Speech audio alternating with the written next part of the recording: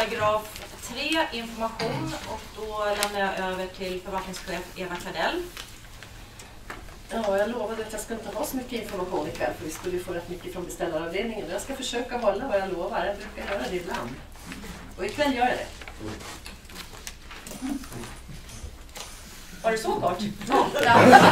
Du tror att jag har blivit sjuk förstår jag. Du har ju känt för några år. Ja, vi får nästan ta tempen här på Eva, men kör på det. Det var en kort informationspunkt då. Då går vi över till kanske längre information då från beställaravdelningen.